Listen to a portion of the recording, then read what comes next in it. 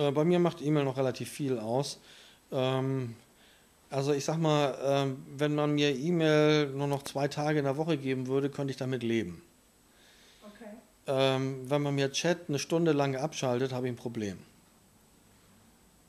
Klare Ausnahme. Ähm, also es, es, verändert sich. Und äh, der Kollege macht das ja jetzt so, dass er sagt, äh, ich nutze keine E-Mail mehr, sondern ähm, gehe in sowas rein, ähm, dass man, dass ich blogge dass, dass ich nur noch über meinen Blog kommuniziere.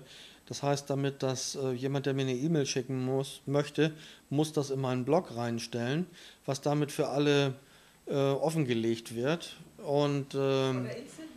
Oder Instant Messaging, ja klar. Aber so die, die eigentliche Kernidee und das, also Instant Messaging ist in dem Sinne nicht was Neues.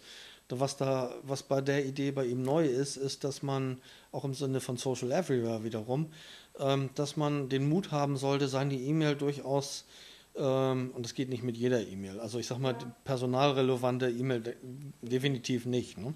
Aber so mit fachlicher E-Mail ähm, kann das schon in weiten Bereichen funktionieren, dass man das eben nicht mehr dediziert zwischen einer kleinen Gruppe von Personen, oft auch nur mhm. zwei Beteiligten, Absender und, und Sender hin und her schickt, sondern dass man diese E-Mail äh, in gewisser Weise veröffentlicht, in einem gewissen Rahmen und andere das auch sehen können, weil zum Beispiel ich bin jetzt gerade bei Ihnen und kann jetzt im Moment keine E-Mail bearbeiten.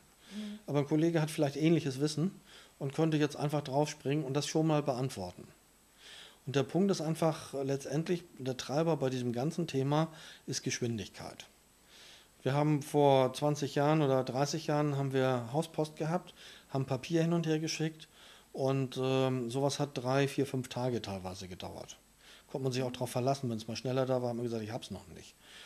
Ähm, dann kam E-Mail mit den PCs und so weiter. Und dann war die Erwartungshaltung so, innerhalb von einem Tag sollte man doch aber bitte mal seine E-Mail gelesen haben und das beantworten. Dann kam Chat dazu. Da ist so die Erwartungshaltung, okay, kannst du vielleicht nicht jetzt, aber so in der nächsten halben Stunde solltest du mal auf diesen Chat gucken und das beantworten. Und das Problem ist, äh, das ist ja nicht nur bei der einer Firma so, das ist bei allen Firmen so. Das heißt, ob man will oder nicht, man hat gar keine Wahl, man muss da mithalten. Mhm. Weil ähm, ein Kunde stellt eine Frage und sagt, kriege ich das jetzt 5 Euro billiger pro Stück oder nicht? Mhm. Und ähm, der erwartet eine Antwort in einer relativ kurzen Frist. Und diese Frist war früher eine Woche und die ist jetzt heute eher beim halben Tag. Was führt es? Und, und, und wie gesagt, wenn, wenn ich nicht in der Lage bin, das jetzt innerhalb vom halben Tag zu beantworten, dann ist er doch hängt ein bisschen vom Produkt ab, von der Marktstellung und so weiter.